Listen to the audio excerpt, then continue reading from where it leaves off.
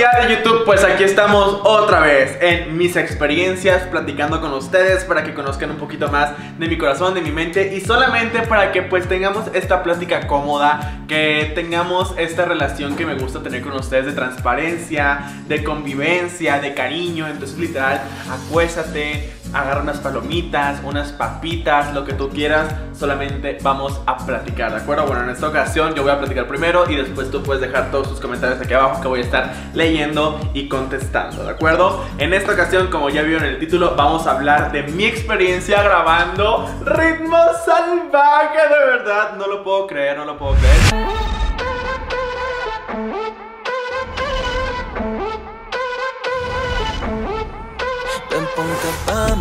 Sé que pasó algo que tiene que ver con Antonia, con Karina y con dos millones y medio de pesos. ¿Usted se está comiendo a Checho? No, él me comió a mí. Nosotras somos una manada de fieras. Si usted quiere pararse sobre ese escenario y demostrarle a todo el mundo lo que sabe hacer, le va a tocar sacrificarse. ¿Usted no cree que es mejor que cada uno esté en su mundo? ¿Cuál mundo, Karina? Usted volvió mierda el mío.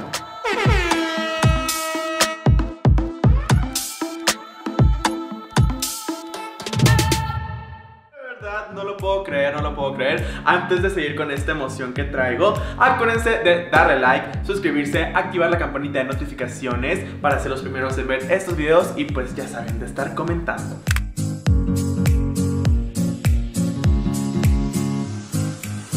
Esta aventura empezó en Colombia. Bueno, en realidad empezó en México cuando me dieron la noticia de que iba a ir para Colombia a grabar algo. A mí aún no me habían dicho qué es lo que estaba pasando ni nada. Yo supuse que iba a ser a lo mejor un videoclip. Durante ese entonces empecé a hablarle yo al poliamor porque sabía que ir a Colombia. Les dije vamos a colaborar, vamos a convivir, etcétera, etcétera. Yo estando ya en Colombia me marca Vaquita, que para ustedes ya saben que es Joaquín, y me dice, Kuno, vas a estar en una serie de Netflix. En ese momento, obviamente, mis ojos se llenaron de lágrimas. Inmediatamente le marqué a mi mamá. Ahorita se me está hasta cortando la voz de que me acuerdo de ese momento tan especial en la habitación del hotel.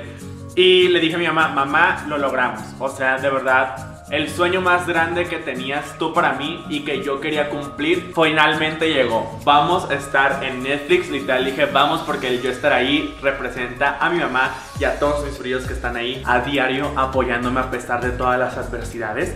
Pero este, esto fue lo que pasó. En la producción surgieron casos de COVID. Entonces yo ya estando en Colombia me tuve que esperar 3 a 4 días para ver si la producción se iba a hacer o no se iba a hacer, pero tristemente no se logró. Entonces tuve que regresar a México y me dijeron, a lo mejor se va a hacer, si no, no pasa nada, esto no será para ti, acuérdate que Dios te pone las cosas y si no son tuyas, ni aunque te pongas. Entonces, obviamente me desilusioné, estuve súper triste, dije, wow, en verdad era una oportunidad increíble que me hubiera encantado haber tenido. Entonces yo estaba muy, muy triste y en eso de repente me llega una llamada de mi abuelita, que para ustedes saben que es Gus Rincón, así le digo de cariño, y me dice, hija mía, mi nieta, tú tranquilo, sí se va a hacer. Otra vez vas para Colombia, ahora vas menos tiempo, pero sí vamos a lograr que estés en Netflix. Obviamente estas emociones volvieron a surgir, pero esta vez pues con como el doble, ¿no? Porque pues siento que primero te emocionan y luego pues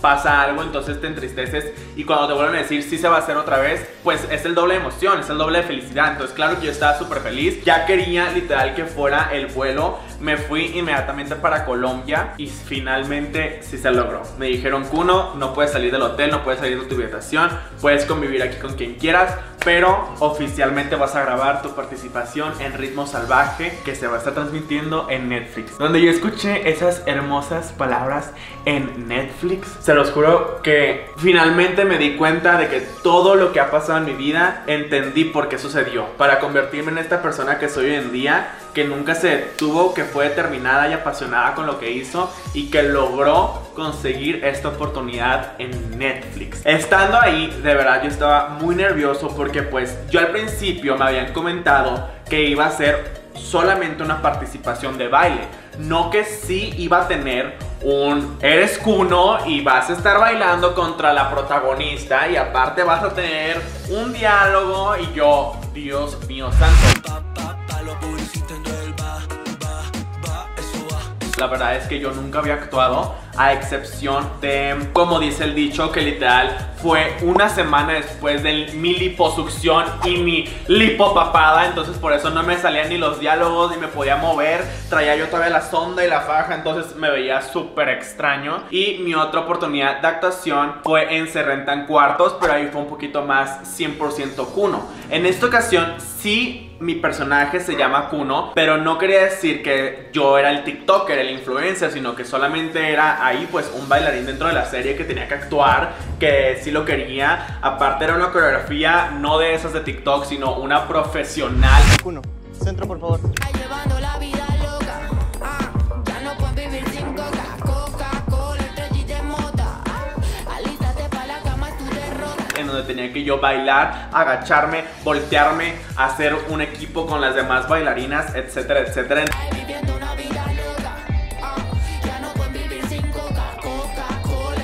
Una locura impresionante. Tuve la oportunidad de conocer a mi preciosa Arlen, que es la productora de Salvaje, muy amiga de Gustavo. De verdad muy agradecido con esta oportunidad, nunca, nunca, nunca la voy a olvidar. Y también estuve, por supuesto, con Gracie, con Paulina, con Pocho, con David, con todos ahí en la producción. Ustedes estuvieron viendo las historias cuando estaba allá en Colombia. De hecho, ni siquiera me esperé a que saliera, sino simplemente estando allá me permitieron subir historias. Empecé a comunicarles que íbamos a estar en Netflix. Entonces estuvimos conviviendo con todos y la verdad me sentí muy, muy a gusto porque después de todos esos nervios de que pues era mi debut actoral y que ya no era pues una plataforma pequeña, sino ya era Netflix, claro que yo sentía que a lo mejor tenía pues mucho que dar de mí, ¿no? O sea, como que no quería decepcionar a nadie ni a mí mismo. Entonces, estando ya dentro de ahí, creo que sí se me notaron los nervios, pero todos al contrario me estuvieron apoyando, alentando, eh, conviviendo, platicando, relajándome, porque pues obviamente cuando me decían, uno va tu turno de bailar la coreografía, claro que para mí era muy,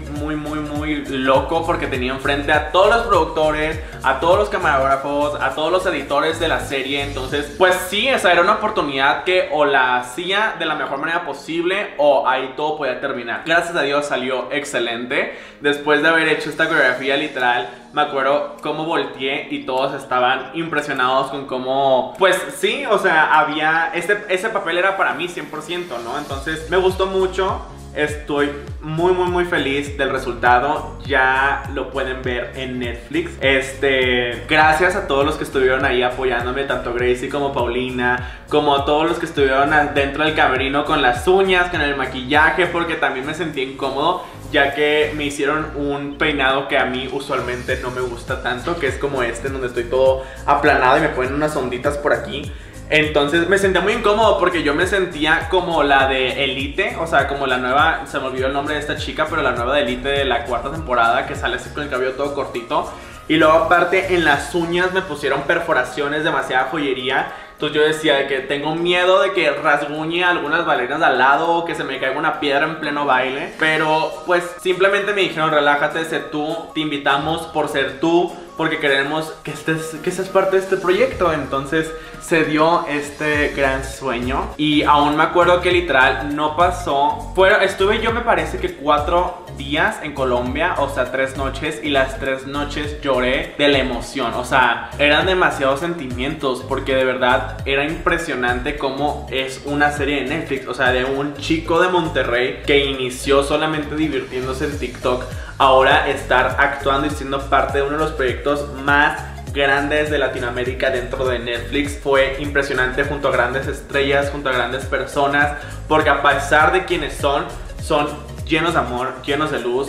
De verdad me sentí en familia, entonces pues esperemos que a futuro tengamos más oportunidades de estar ahí con ellos o también de otras oportunidades dentro de Netflix. Lo más loco de esto fue que aparte durante este proceso, no solamente les voy a platicar lo bueno, sino también un poquito, no lo malo, sino lo que estuvo eh, un poquito difícil, que era pues no salir del hotel, no poder convivir con otras personas porque aún seguíamos en protocolo COVID, entonces no podíamos arriesgarnos a que me contagiara alguna persona porque pues obviamente tenía todos mis amigos allá, no podía verlos. Me acuerdo que eh, como parte de la producción de Ritmo Salvaje, en el hotel había un menú. Entonces literal como que me tocó comer las mismas cosas, pero delicioso. Eso sí estuvo excelente. Este, y sí, o sea, yo me acuerdo que era impresionante el hecho de no poder salir del hotel porque no había yo descargado ni Netflix, ni HBO, ni Disney Plus. Y no sé por qué estando en Colombia no podía descargar estas aplicaciones. Entonces me tocaba ver la tele local de Colombia y no le entendía nada ni a los chismes, ni a los noticieros, ni nada de eso porque no se veía ni dónde era ni con quién era. Entonces,